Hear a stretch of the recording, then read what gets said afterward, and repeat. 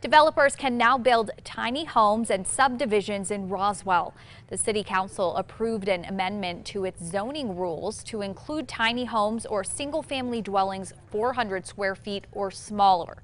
Tiny homes were never considered to be part of the zoning code until recently. City officials say they've heard from developers wanting to build subdivisions and temporary housing for veterans and the homeless. This ordinance change allows them to do that. I think that there are some options there, some people that would, would benefit from that kind of, uh, of development. Officials hope the change helps address a recent housing shortage. Meanwhile, a proposal aimed at addressing cracked sidewalks in Roswell stalled. Right now, residents are responsible for repairs to sidewalks near their homes and injuries those sidewalks might cause.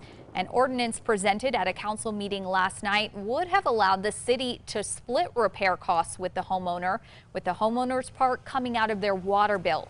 But a motion to take up the ordinance did not get a second and it was shelved.